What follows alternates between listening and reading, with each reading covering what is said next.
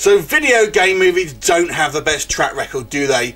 But I'm here to tell you you should look past your local multiplex and look to straight to DVD because there may be a few hidden gems there that are definitely worth your time. And one of those hidden gems is the Dead Rising franchise. Now we've previously reviewed Dead Rising Watchtower, which is the first film. So we are talking about today Dead Rising Endgame, obviously the second movie in this kind of the movie franchise. This one is directed by Pat Williams and once again stars uh, Jesse Metcalfe, who is the kind of the reporter from the first film. Now, he's actually an original character, I believe. I don't believe he's from, from the games.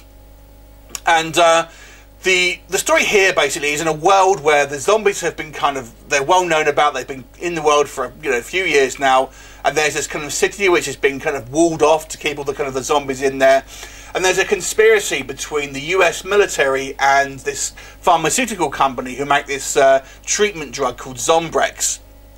And there's a, basically a conspiracy here that could put millions of innocent people in danger, and, and, and uh, it's up to our hero and his kind of small group of pals to go into this infected zone and try to save millions of people. That's all I'll say about the plot on this one. So I have to say, right from the get go, I enjoyed this film. This is a good film, but it is a B movie, so don't be expecting any type of really uh, sophistication or you know massive budget effects and stuff like that. It is a B movie at the end of the day, but it's a good B movie, and I have to say, a pretty damn good zombie film, even if you take the video game elements away from it. What I like about this film and the previous film as well is that it actually does have quite a, a, a complex plot. This isn't just a case of, as is with a lot of B movie zombie films, uh, a case of people going from point A to point B. And that's really, I, I see a lot of these zombie films, and that's really it.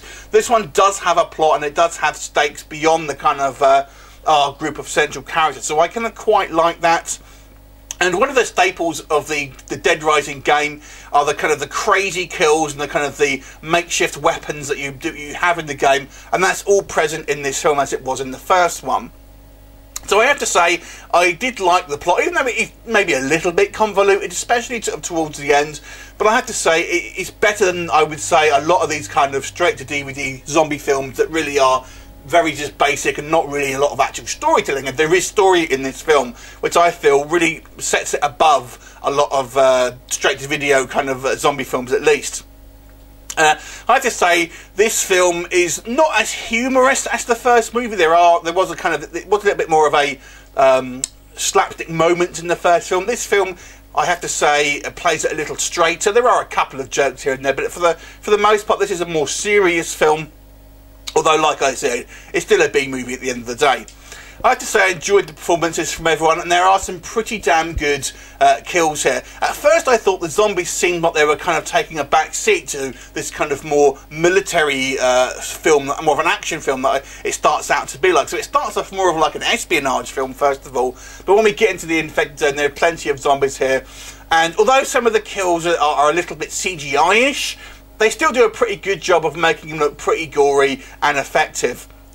And of course, like I said, there's the weapons come in display here. Some of the dialogue is pretty cheesy, but you're going to expect. I don't think this film is trying to be high art, but I think it succeeds in in what it's setting out to do to make an entertaining video game movie, an entertaining zombie movie that has stakes in it, that has kind of like interesting characters that you kind of care about. Yeah, this is certainly formulaic uh, in, in times. There are some familiar faces you will see here.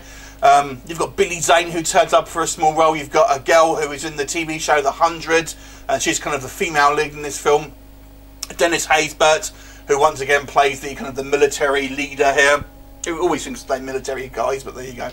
Overall, I really enjoyed this film. I, th I think it's definitely worth seeing if you're either a zombie fan or you're a video games movie fan check it out, or just a B movie fan in general. I don't think it's you know a, a, perfect film. Don't get me wrong. It's certainly cheesy there are, there are some crap dialogue in it. There are kind of some effects here that could be you know improved upon, but obviously it's a lower budget film, so you know it can't be perfect. But I'd say this is definitely a good film.